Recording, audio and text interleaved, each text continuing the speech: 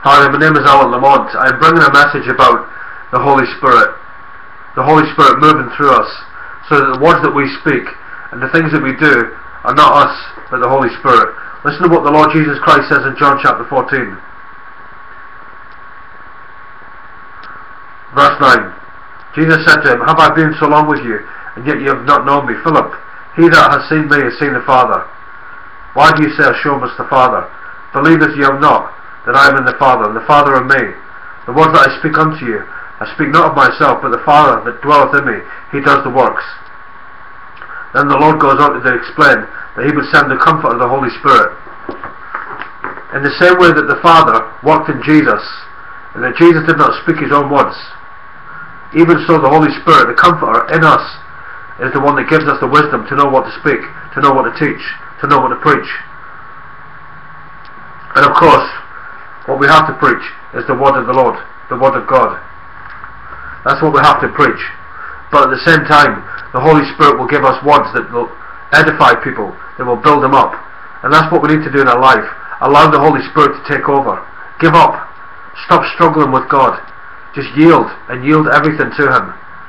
And the Holy Spirit will then rise on the inside of your spirit. And His presence will overflow. Jesus said of the innermost being will flow rivers of living water. Rivers of living water. That's the Holy Spirit's presence. We don't need to go to some revival to catch the fire. All you have to do is draw a circle around you where you stand and don't get out of that circle until you are revived.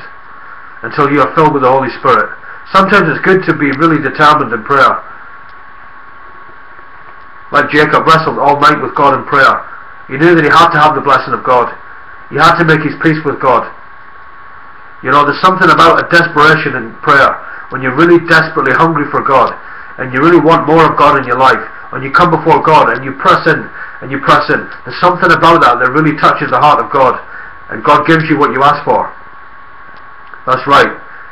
God is raising up prophets, He's raising up prophetesses, He's raising up apostles, evangelists and pastors and teachers online, on the internet, to preach His word. That's what He's doing. I consider myself an evangelist with a prophetic edge, a prophetic gifting, but my gifting is to preach the gospel. That's why for a lot of the time I didn't want to go into the anti-Vatican movement, but it was the will of God, it was the plan of God. Uh, God had a purpose for that work that I've done, and the videos are still out there on YouTube from other people that have downloaded them and re-uploaded them, so the work is out there. But what I want to talk about right now is the Holy Spirit of God. The Holy Spirit. We have to honour the Holy Spirit. Honour His presence. We can't just come to God just to experience His presence. That's what a lot of these revivals are about, supposedly. Where people say, you know, there's like holy fire, and everyone's falling over, and everyone's shaking, and everyone's holy rolling. Everyone's laughing, everyone's falling over. That's all they want. And they play worship, and worship, and worship, until people are in that state of mind. And then once these manifestations occur, they call it the move of God. I'll tell you what a move of God is. Preaching the Bible. That's a move of God. Amen. Preaching the Word of God. That's a revival. Where you see sinners under the fear of God. Uh, under fear and trembling. They know that they are sinners. They know that they're going to hell. They know they need to come to Jesus. That's a revival. Not this other counterfeit revival where people talk about, you know, gold dust and gold fillings and angel feathers and all of this nonsense. I've watched a lot of the videos, so I know the score, I know what it's all about. I remember in 1994 meeting John Arnott in uh, the Usher Hall in Edinburgh, and that's all it was. He preached for about 20 minutes, then they moved all the chairs out of the way, and everyone just began to shake and laugh and roll around. I walked out of there. I walked right out. The unfortunate thing is, it came into my church at the time, and the pastor, unfortunately, embraced it all. And so, there was no longer really any preaching of the word. It was all about the anointing, it was all about the power of God, and it was all about people really experiencing manifestations and signs and wonders. And, of course, the Lord does miracles today. We don't have a gospel with no power. But the gospel of Christ That's the power of God the salvation of everyone that believes. As you preach the gospel of Christ, then the signs and wonders will follow. But we don't follow after signs and wonders, they follow us. Praise the Lord. If, and only if, we are preaching the gospel of Jesus Christ. If a man is not preaching the gospel and he has signs and wonders, then that man has been used by the devil. That's the truth. Can you imagine how the Holy Spirit feels? When all the people want is His presence, just so they can enjoy the power of His presence. It must grieve Him. The Holy Spirit wants intimacy with people.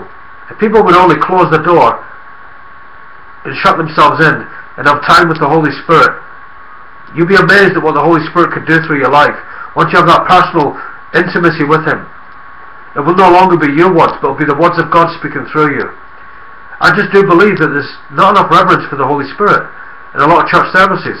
I know there's a lot of false revivals today because they're trying to use the Holy Spirit, you know, and they're trying to sing themselves into a frenzy, an altered state of consciousness where the Holy Spirit will come and a lot of it's manipulation, a lot of it's the power of suggestion.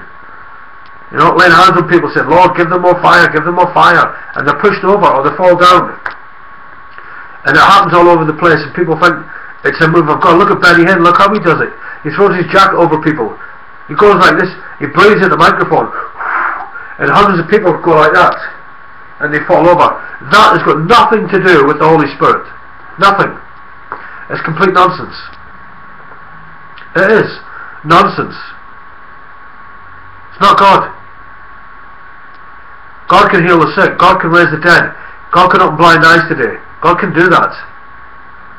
But what He wants most of all to do is He wants you to have fellowship with the Holy Spirit, whereby the Holy Spirit changes your heart. This is where I'm really going to go into the message now about purity of heart. People want power, but they don't want purity. People want glory, but they don't want brokenness. People want the fullness of God, but they're not willing to be empty. You see. Salvation is a free gift. It's a free gift.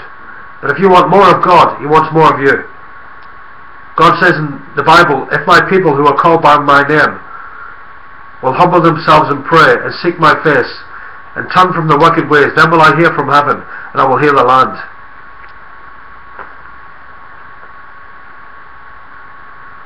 You can be so filled with the Holy Spirit that you'll be so just just aware. You'll be aware with it.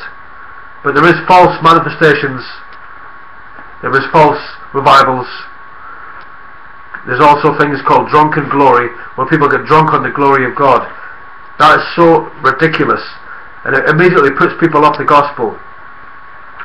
I'm not saying we can't be slain in the Spirit, but that has been used as evidence of the power of God way, way too much. And I do believe that the Holy Spirit is grieved by the way that the church treats him. They talk about his anointing all the time, yet it's almost as if it, the Holy Spirit is separate from the anointing. He he's not. Anything that God does supernatural is a manifestation of His Spirit. Jesus said, God is a Spirit, and they that worship Him must worship in spirit and in truth. All I'm saying is this, I'm just trying to bring a revelation of the mindset of a lot of churches. They want the Holy Spirit to come. Come, Holy Spirit. Well, where is He gone? Why isn't He already there? Do you understand what I'm saying? Come Holy Spirit. And when the Holy Spirit comes, then once the manifest presence starts working, then that's it. That's all they care about. Is the manifestation. Is the signs and wonders. Is the experience of God. What about the person of the Holy Spirit? He is God. He is God, the Holy Ghost.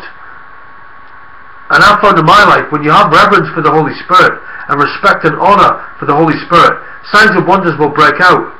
I've prayed for people, I've seen healings. I just don't make a big deal about it. It's just natural. It's natural for the Holy Spirit to bring healing. I've prayed for the sick and I've seen them healed. And I say that with all honesty before God. But that's only by His grace. Only by His grace. I was only a vessel. One man had scars on his neck all the way down. And I prayed for this man. He had shingles. I prayed for him. He came to church the next day and he had new skin on his neck. He was in tears, the church was in tears. I was very moved by that. First time that God had ever healed the sick through me. But uh, it wasn't planned, it wasn't organised. We were actually in a house having a Bible study group, And I noticed he couldn't eat properly. And he, I said, can I have a with you in private? Are you okay? And he began to share how he couldn't eat or sleep really. And the shingles had caused scars to appear on his neck. It's hard to explain, but anyway, I prayed for other people and I've seen them healed. I prayed for one woman once in a, a home. It was at a Christian church in a home in uh, Leicester. And this woman was blind in one eye.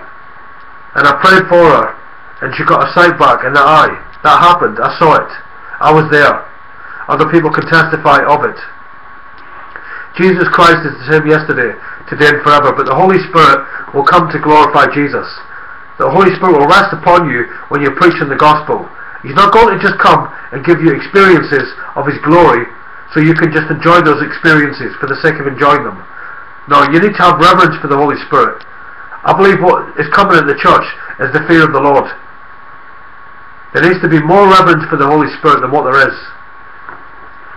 There's a lot of chaos in the charismatic world. It's not God. It's not God. What you need to do is return to biblical Christianity.